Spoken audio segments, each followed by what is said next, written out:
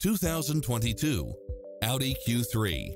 With less than 4,000 miles on the odometer, this SUV offers space as well as power and performance.